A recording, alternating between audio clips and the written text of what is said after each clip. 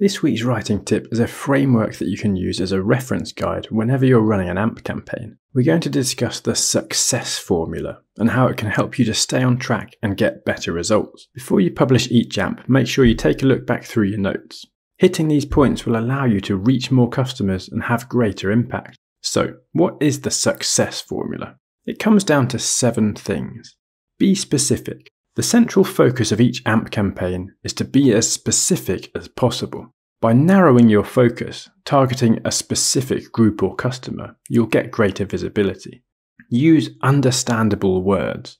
It's important to remember that the average reading age online is 12 to 14 years old. The moment you use a difficult word or phrase, you've lost the reader. The trick is saying what you want in a simple way.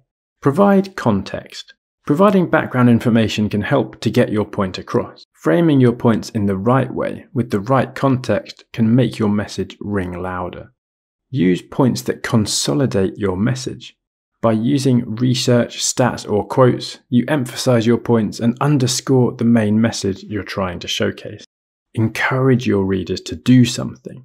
Ultimately, you want your readers to be doing something when they read your article, whether that's making a purchase or signing up to your email list. You want to encourage them to take action, but the key here is keeping it subtle. You also want to keep it simple. We've added quite a lot here already, so this is an important one. You can always trim away excess fat to ensure you're not complicating your message. Keep asking yourself the question Am I making this easy to understand? Lastly, structure your text in a straightforward way. As with all writing, structure is everything.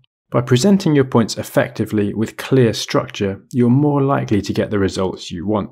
Here are some of our favourite methods for organising ideas. And there you have it the seven steps for success. Keep these tips to hand and reference them with each AMP.